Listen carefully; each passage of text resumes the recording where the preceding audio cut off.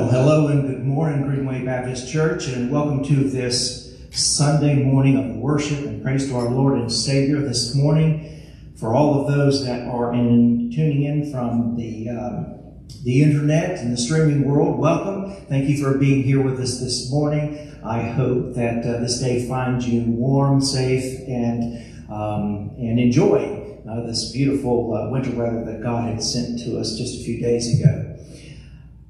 I'd like to read this morning a familiar passage. It's a couple of verses. I was reminded of that this morning. Hebrews 10, verses 24 and 25. And let us consider how to stimulate one another to love and good deeds, not forsaking our own assembling together, but as is the habit of some, but encouraging one another, and all the more as you see the day is drawing near. You know, there's a lot of things that we can do to encourage one another. We can send a card, uh, an email. We can send a text of encouragement, just letting people know that they're being thought of. So try to remember that throughout this week, that there's many different ways to encourage one another.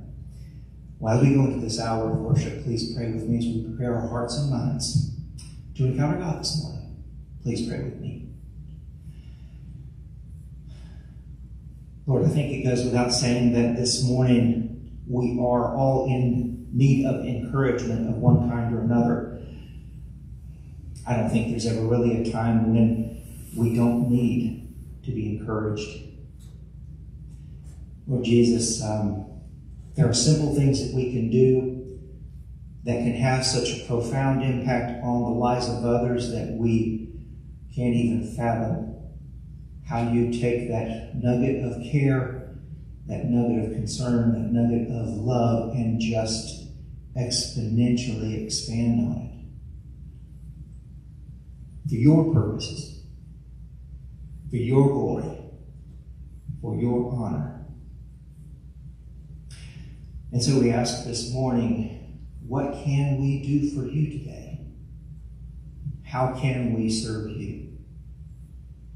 To the fullest extent with love in our hearts, care and concern on our minds for those around us. Lord, you've commanded us to love one another. Please help us to keep that in mind this week and the weeks ahead and the years ahead. Let it become a cornerstone of our lives. Well, most importantly, let's let's say, Lord, you be a cornerstone of our lives, the keystone, the center. For everything else will branch out from there as you are the vine. Lord Jesus, as we worship and praise you this morning, that's the sole purpose of our being here. May it be pleasing to you. May our worship be lifted up May you smile and know that Greenway Baptist Church in Boone, North Carolina loves you, worships you, adores you, and acknowledges you, our Father and Creator, of all things, above all else. And these things we ask in Jesus' holy name. Amen.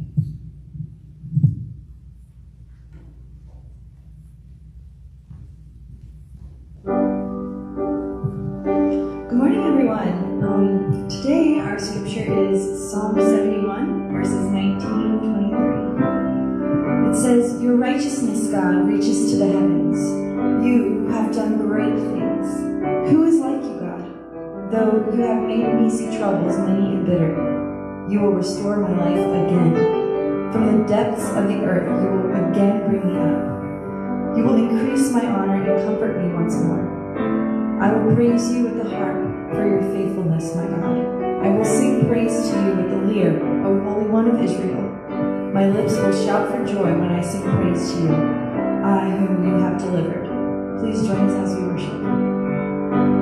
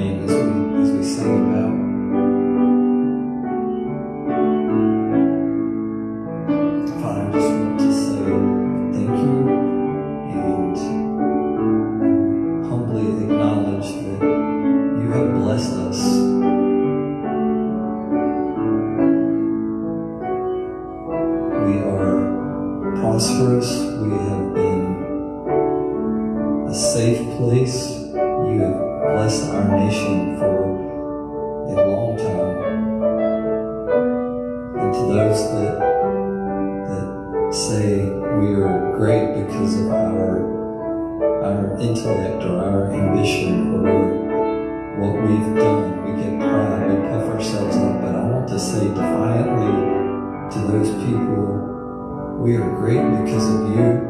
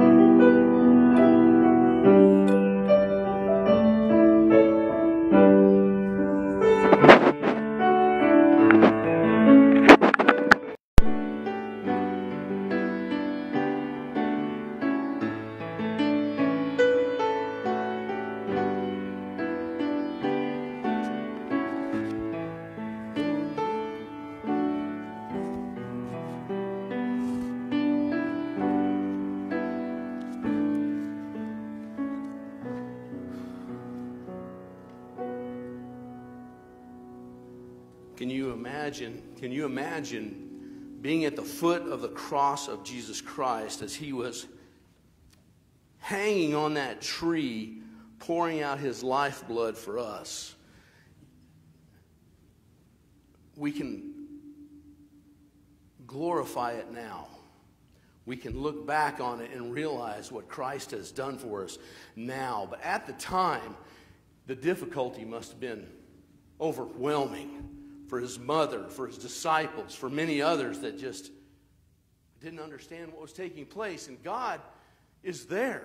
God is in, he was hanging on the cross. God the Father was present. God the Holy Spirit was present. And there was glory. And glory filled that place. And it's so hard to, rec- it's so hard to, to reconcile all those things together. But God loves us, created us for a relationship with Him. God tears down when things are wrong, and He builds them back up to make them right. It goes on and on through Scripture, over and over. And we're in the book of Lamentations. And in the book of Lamentations last week, we talked about how God, how, how God is in his rights. Since we rebelled against his word to be angry with us.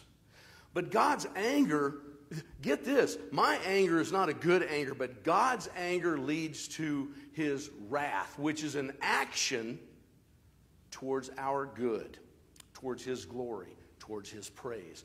Hard to reconcile but it's scriptural and it's true. Pray with me. Father, today we come to you. We open up the scripture. We open up your word. We want to hear a word from you. We want you to not only just to let us glean from your scripture, but to understand, to hear and understand and put into action the words that we hear. Father, don't leave us where you find us. We know that you will bring honor and glory to yourself. And we know that you call your children to be part and parcel of that. Help us to see that, Lord. Help us to participate in that, Lord. Help us to come through the other side of trial and adversity, praising your name. Help us to, to call out your name in trial and adversity to where others may bend an ear, may bow a knee, may confess that you are our God and we are your people. In Christ's name we pray. Amen. Amen. This week we have seen some really tragic things, and I think I say that every week that I get up here. Every week I get up here, it seems like I'm saying that there's something new and different that's taken place, and it just blows my mind. And and when and and I'm going through the Lamentations, and as I'm going through these Lamentations, it seems like once again, just like when we were going through Revelation back at the beginning of last year, how God was pointing and speaking to His church and a wake up call to His church to say, I am speaking specifically to you, and you can hear me if you will open up your ears. And that is what God is doing to us every week now. It is amazing to me that that as we pour through Scripture, He pours Himself out for us. We're, we're watching what's going on with the Capitol. We're watching what's going on with our leadership. We're watching what's going on with the economy. Now, the economy is really good for a certain stratosphere of people, but it's really bad for a lot of other people. If you watch the markets, the stock markets are hitting all time levels. And if you watch unemployment, people are struggling for work and have you even quit looking for work. So all the numbers aren't. And, and this is not a political rant. What it is, it's just open our eyes and see what's happening to those around us. See what's happening to people around us. And you will want to cry out to God Almighty that we need relief, that we need, we need Him. Starting in verse 1 of chapter 2 of Lamentations. And look, if you're not if you're watching this live right now, I hope you've already read Lamentations 2. I, as a matter of fact, I hope you've read the entire book of Lamentations. There's only 5 chapters. But if you haven't and you're watching this delayed, stop it. Just stop and go get your scripture and read it. Lamentations chapter 2. God takes credit. He takes blame, whatever, however you want to put it, for what's going on to Judah, Jerusalem, during this time.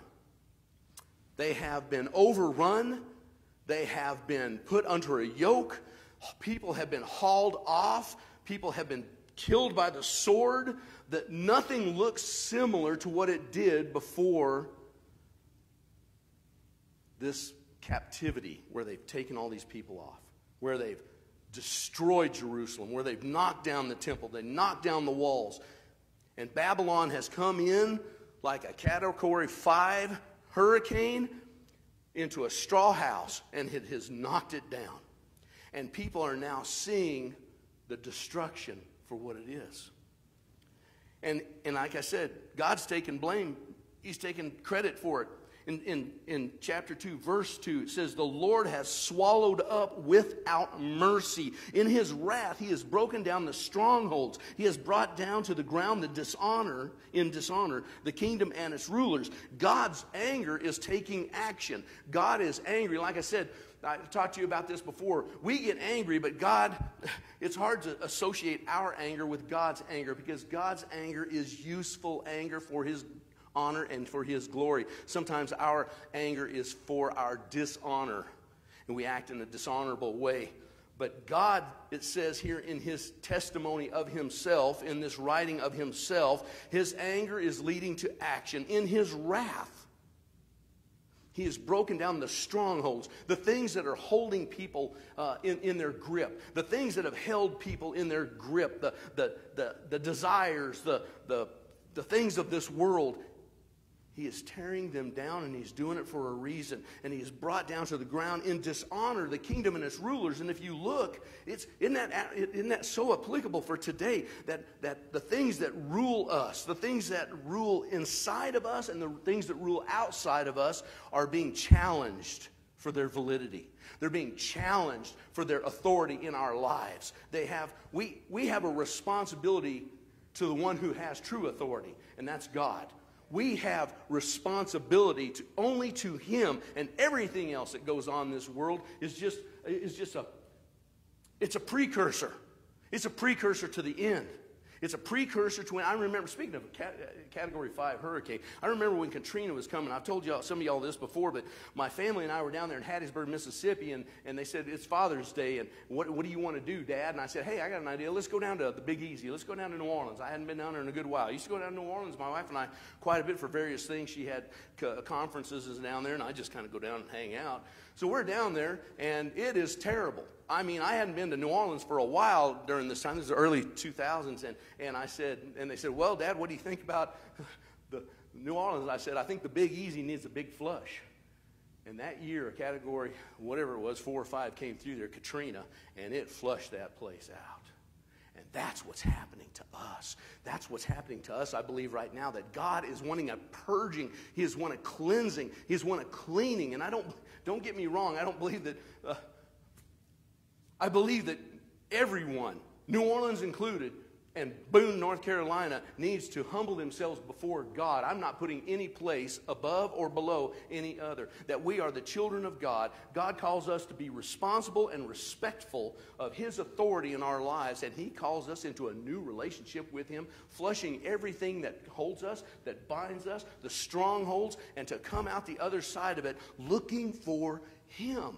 And right now, kingdoms, rulers, all these things it says in verse 2 are they have been brought down to the ground in dishonor.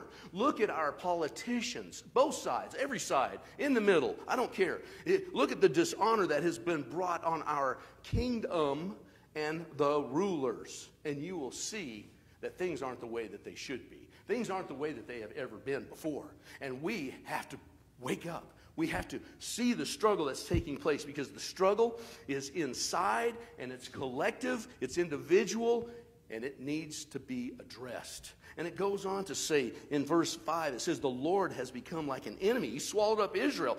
He has swallowed up all its palaces, the places of splendor. Look at the places of splendor that have been swallowed up this week. And he has laid in ruins its strongholds, the things that we've trusted. The things that we've trusted. I mean, if you just look at the Capitol building and what took place on it, those, that, that palace, that place of splendor, that place of glory. You see some guy toting uh, the Speaker of the House, and I don't care who it is.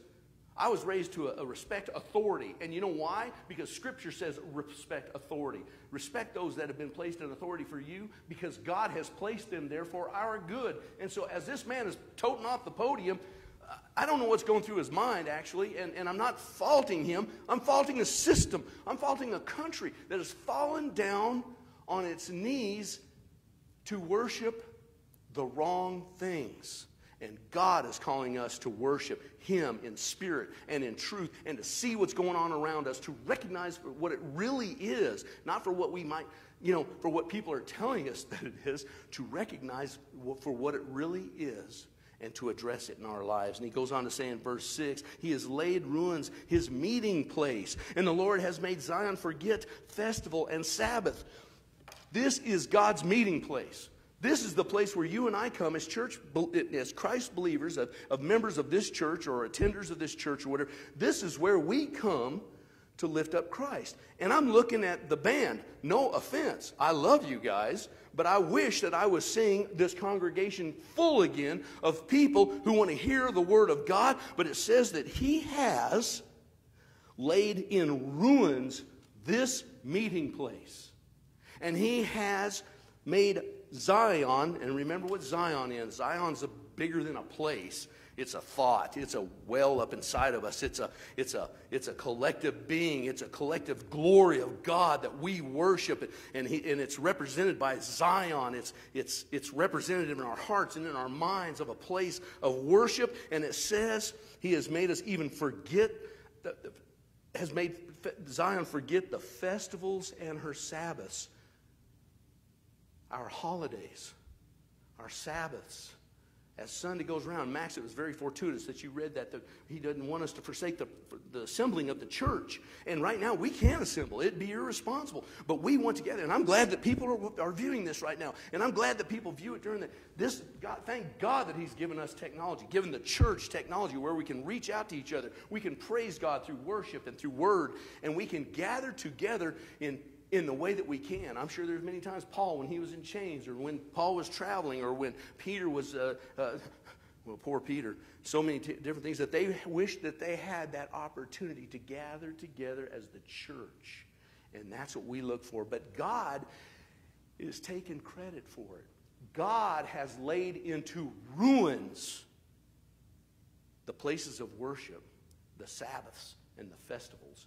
I don't know about you, but my holy days, my holidays this year, were nothing like they used to be. My holidays were laid in ruins because the way that we had to meet.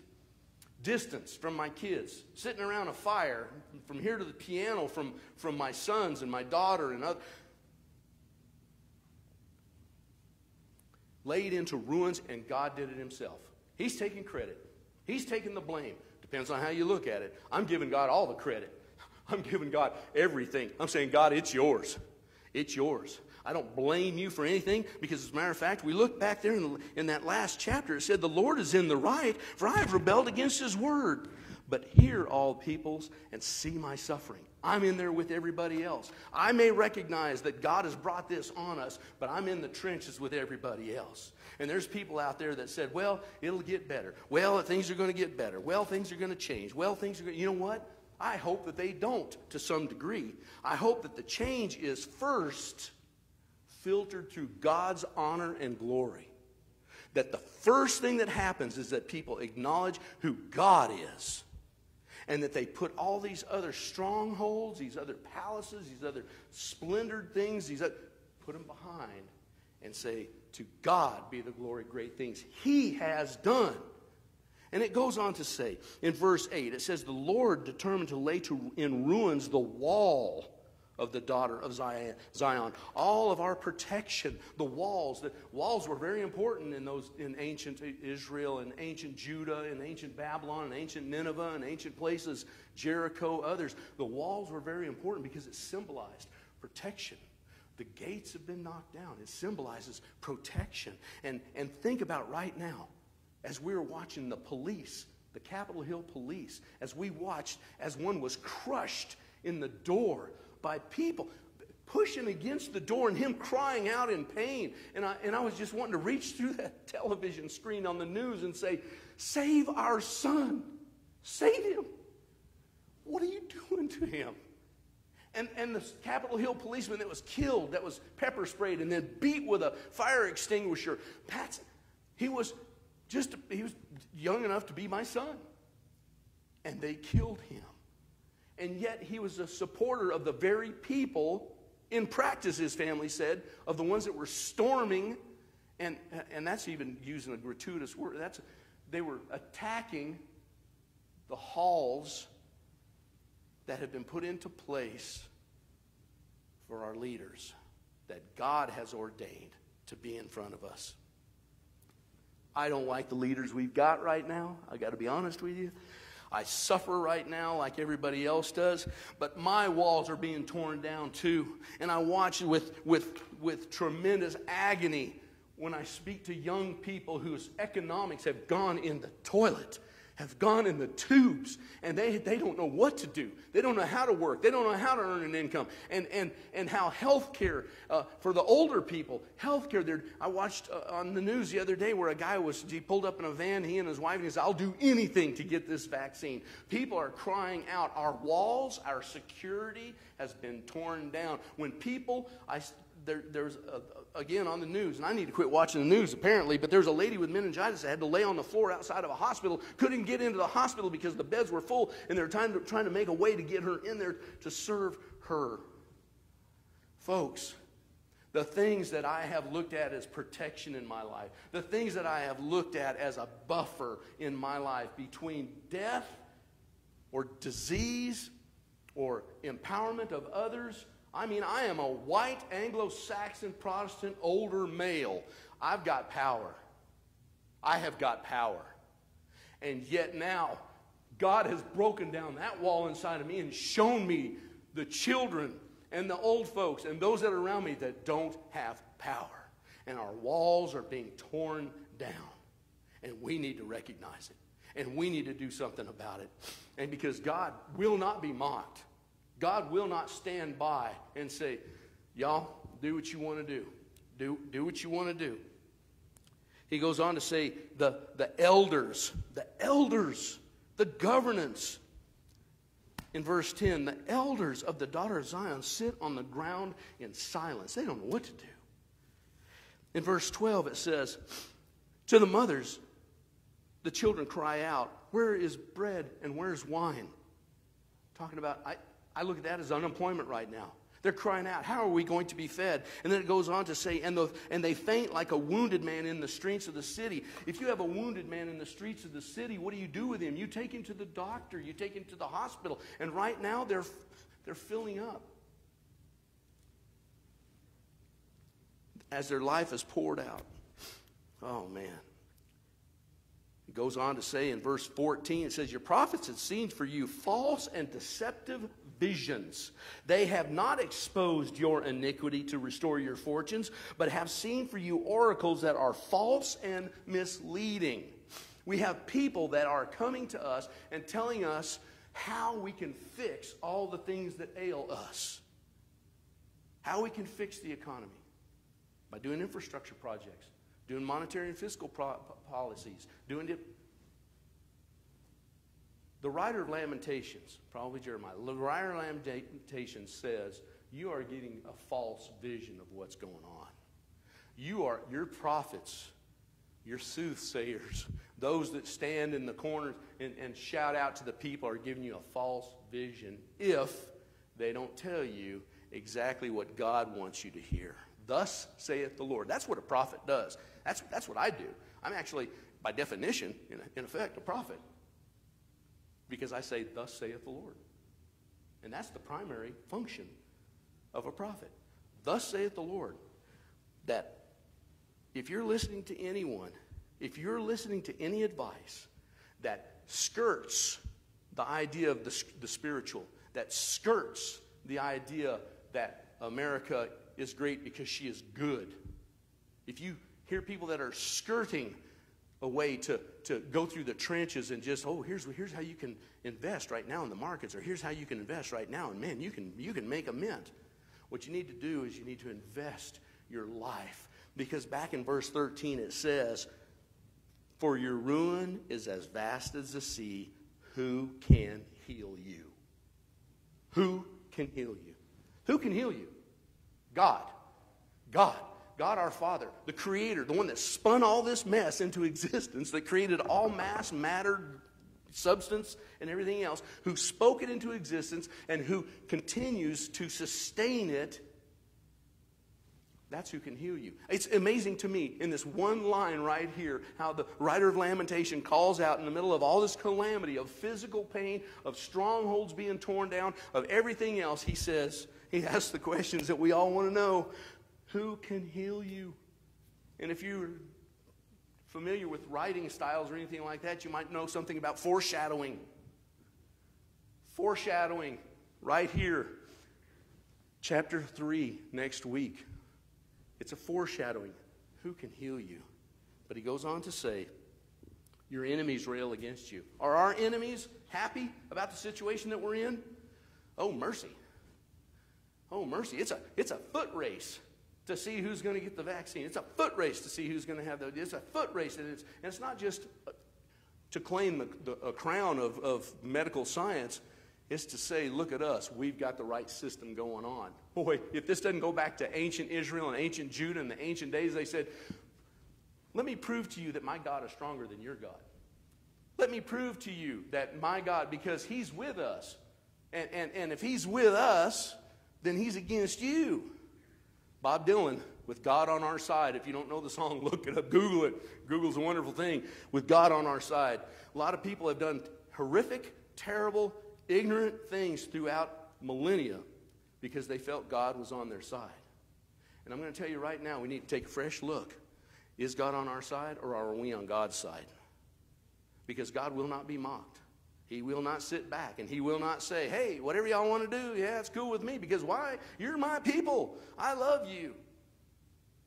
God's going to bring glory and honor to himself first and foremost. And above all things, that's what he's going to done.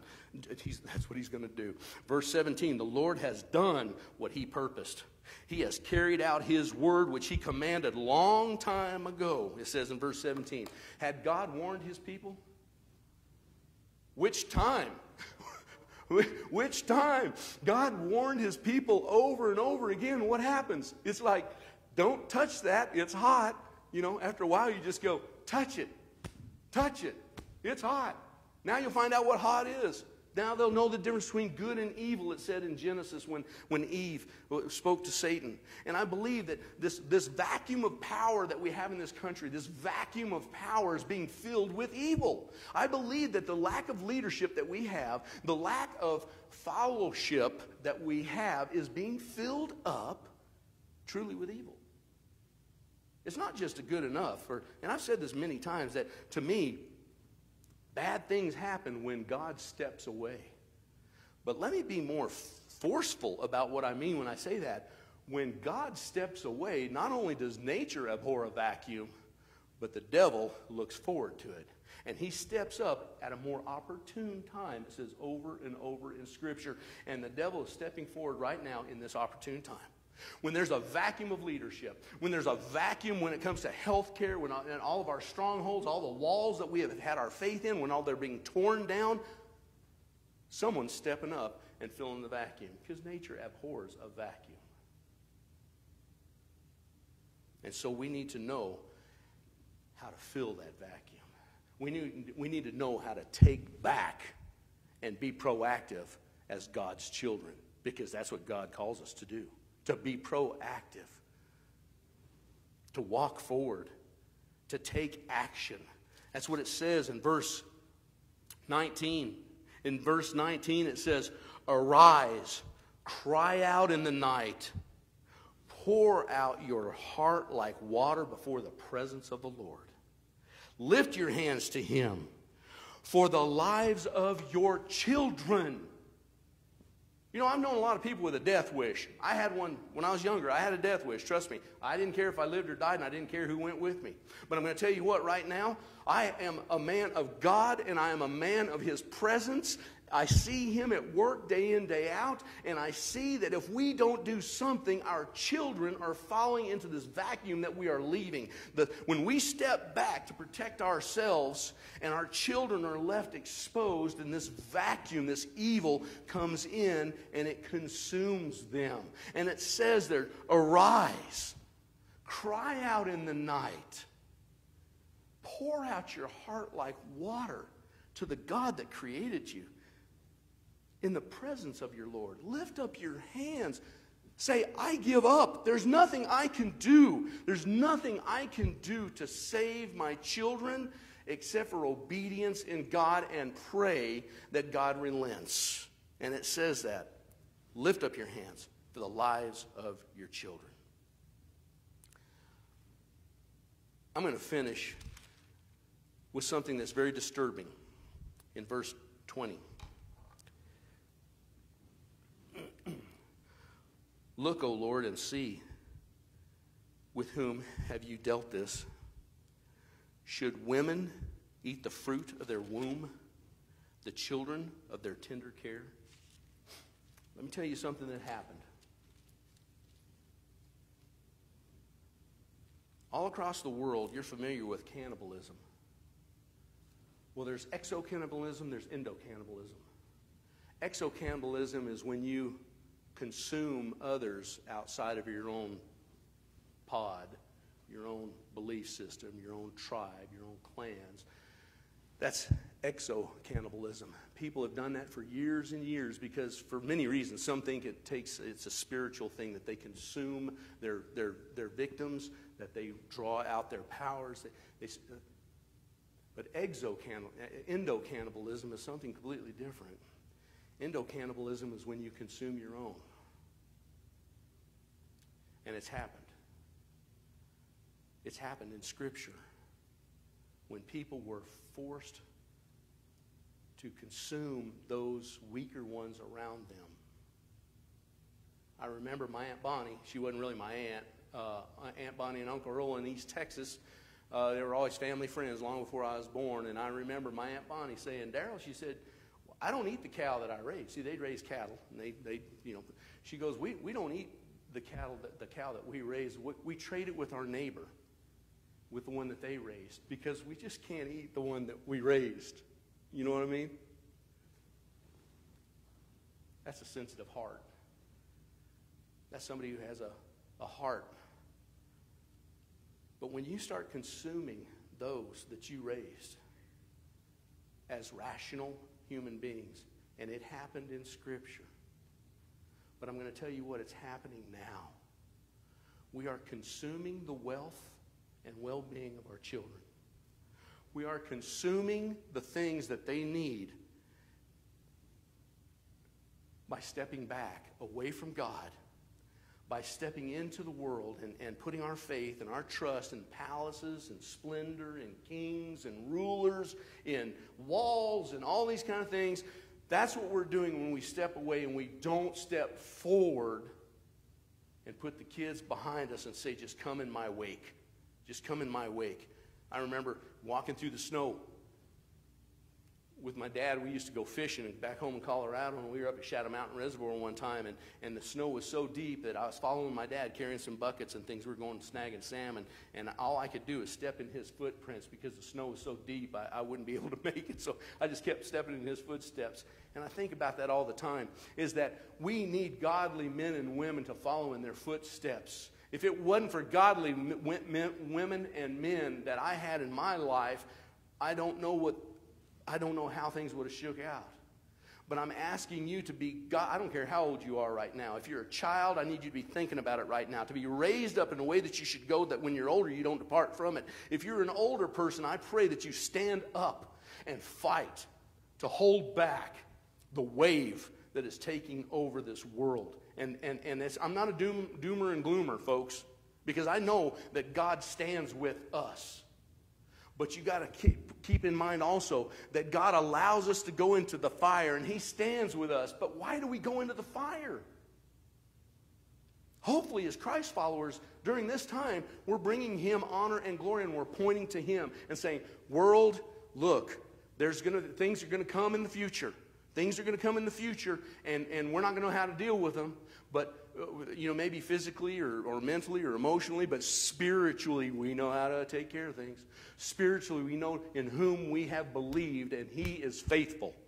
And so, y'all, if you're if you're in any kind of way, shape, or form weak, get behind the ones that are strong and let the ones that are strong lead the way because we're going to fight this battle again. There's a guy named uh, Severin Schwan. He's the CEO of Roche Industries.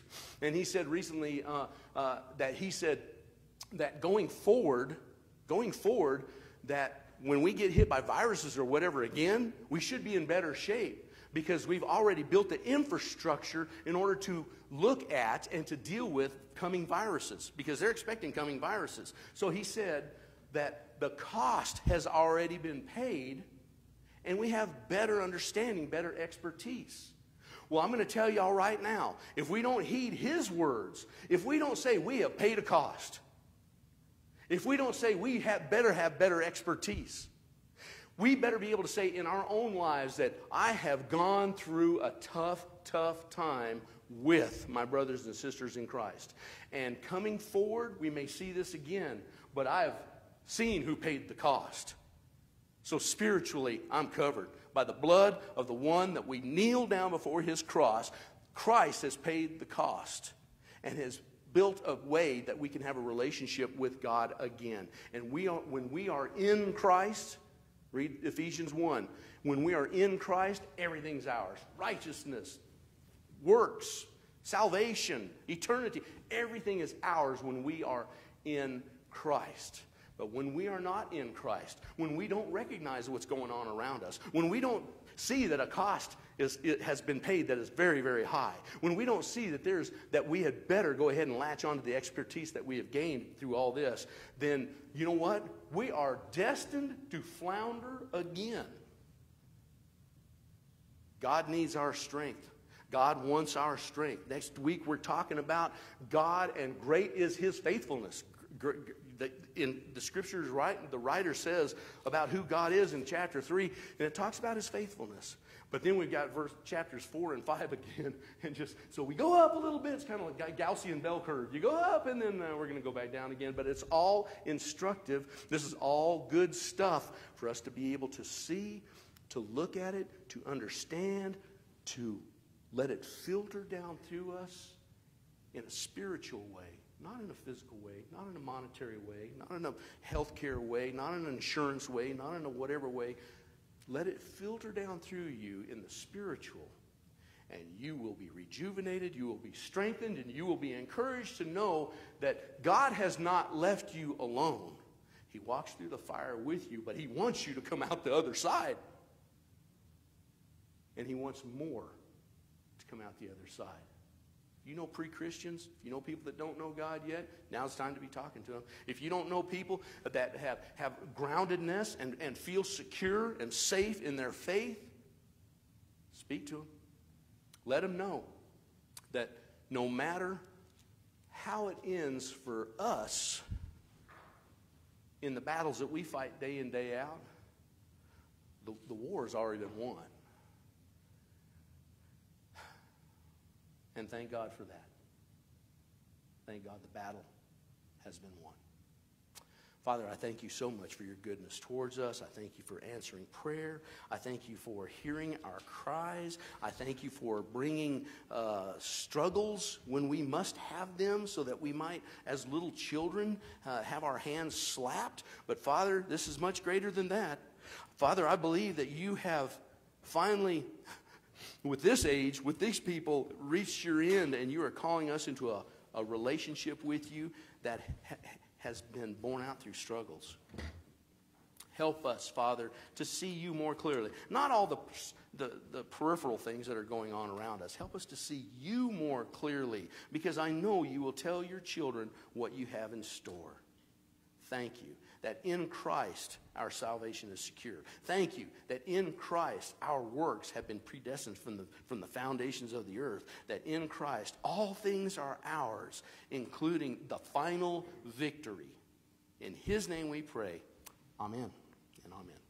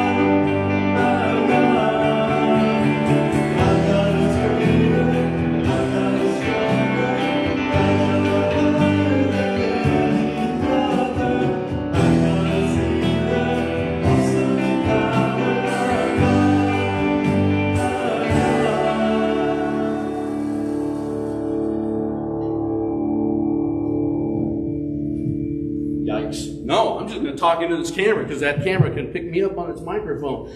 Our God is with us. Our God is straighter. Our God, our God is greater. Our God is stronger. Perfect always. Music selection and performance. We're missing a few people this week. This COVID keeps chewing and biting. But we just need to bite back. That's all I got to say. And we bite back through Christ. Does that even make sense? I don't know. It It may, it may not, but I'll tell you what. I am leaning on God's strength these days, and I hope that you are as well. That's all you can do. That's the only place you can put your faith and your trust, because everything else is as silty as as sifting, shifting sand. Yeah, I better quit while I'm behind. Love you guys. Have a great week. Thank y'all. Finish this up.